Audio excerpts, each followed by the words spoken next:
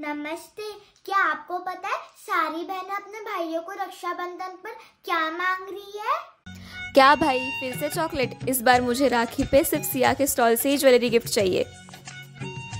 अगर तुमने इस बार मुझे सिया के स्टॉल से ज्वेलरी नहीं गिफ्ट दी तो मैं तुमसे कभी बात नहीं करूँगी। तुम्हें पता है ना मुझे हैंडमेड ज्वेलरी कितनी पसंद है। सिया के स्टॉल पे बहुत अच्छी हैंडमेड ज्वेलरी मिलती है। मुझे वहीं से गिफ्ट चाहिए।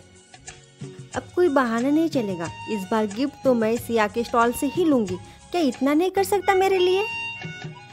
इस राखी पर तुम्हारी बहन क्या मांग रही है? अरे मेरी बहन तो सिया के स्टॉल से ही ज्वेलरी मांग रही है। आखिर ऐसा क्या है सिया के स्टॉल पे? हाँ मैंने सुना है वहाँ हैंडमेड ज्वेलरी मिलती है जो सब लड़कियों को पसंद है। अगर इस रक्षाबंधन बहनों को है खुश करना तो गिफ्ट सिर्फ़ सिया के स्टॉल से ही लेना।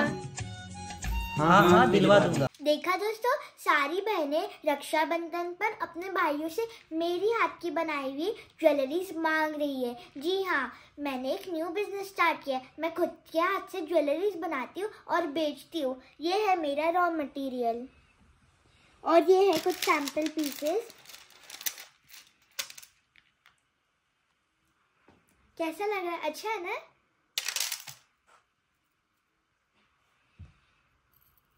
अच्छा है ना?